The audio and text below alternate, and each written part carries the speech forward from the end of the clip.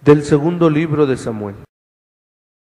En aquellos días David fue a casa de Obededón, donde estaba el arca de la alianza, y la transportó con gran alborozo a la ciudad de David. Apenas habían dado seis pasos los que llevaban el arca, cuando él sacrificó un toro y un becerro gordo. David danzaba con todas sus fuerzas ante el Señor, ceñido con una especie de maldín de lino que usaban los sacerdotes.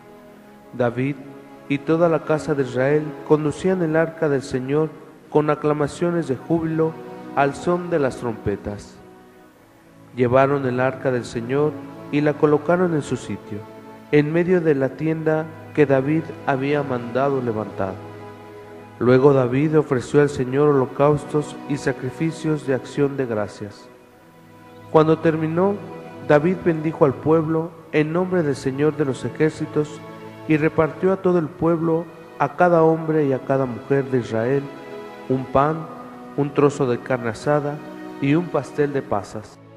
Después se fueron todos, cada uno a su casa.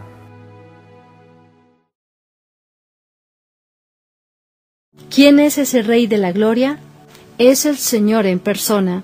Portones, alzad los dinteles, que se alcen las antiguas compuertas va a entrar el Rey de la Gloria. ¿Quién es ese Rey de la Gloria? Es el Señor en persona. ¿Quién es ese Rey de la Gloria?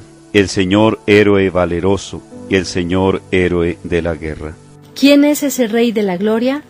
Es el Señor en persona. Portones, alzad los dinteles, que se alcen las antiguas compuertas, va a entrar el Rey de la Gloria. ¿Quién es ese Rey de la Gloria? Es el Señor en persona. ¿Quién es ese Rey de la Gloria? El Señor Dios de los ejércitos. Él es el Rey de la Gloria. ¿Quién es ese Rey de la Gloria? Es el Señor en persona. Evangelio según San Marcos. En aquel tiempo llegan su madre y sus hermanos, y quedándose fuera lo mandan llamar. La gente estaba sentada a su alrededor y le dicen, Mira, ahí fuera te buscan tu madre, tus hermanos y hermanas.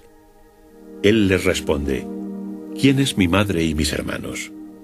Y mirando a los que estaban sentados a su alrededor, dijo, He aquí mi madre y mis hermanos, pues quien haga la voluntad de Dios, ese es mi hermano, mi hermana y mi madre.